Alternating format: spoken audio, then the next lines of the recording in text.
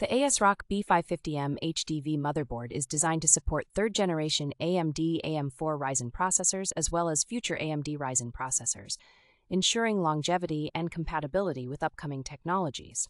It features a robust power delivery system with six power phases, providing stable and smooth power to the CPU, which is essential for maintaining high performance during intensive tasks. One of the standout features is its premium 58 power chokes that significantly enhance V-core voltage, making it an excellent choice for those who seek reliable and efficient power management.